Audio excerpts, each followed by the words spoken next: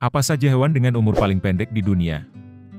Yang pertama ialah lalat capung atau yang juga disebut dengan mayfly. Hewan jenis serangga yang masuk dalam ordo Ephemeroptera ini hanya memiliki usia selama 24 jam dan setelah itu mati.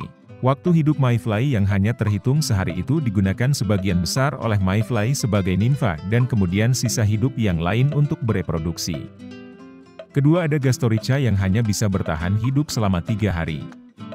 Kemudian ada nyamuk yang hanya bertahan hidup hingga berumur 10 hari. Lalu ada semut pejantan yang hanya bertahan hidup hingga berumur 14 hari. Dan juga ada lalat yang hanya bisa bertahan hidup hingga satu bulan saja.